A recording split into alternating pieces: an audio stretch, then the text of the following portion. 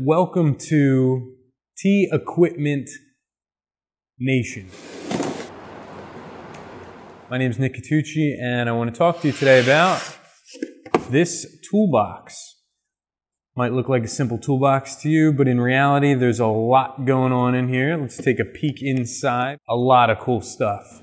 We've got tape, scissors, two screwdrivers, the only two you'll ever need, Phillips head and flathead. Nice little adjustable box opener here.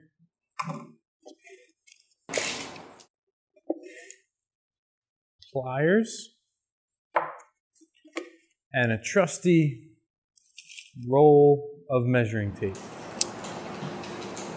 You might be saying to yourself, well, I've got all these things. Yes, you do. But you don't have them all in this box and you don't have them in the one place where you can put this box and really need it.